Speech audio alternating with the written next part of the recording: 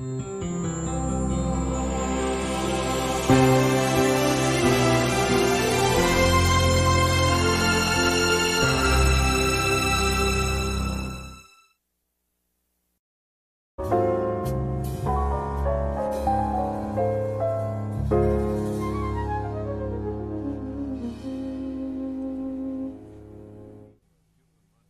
people who give the money to make Mr. Rogers' neighborhood are the people who contribute to this and other public television stations, and the Corporation for Public Broadcasting.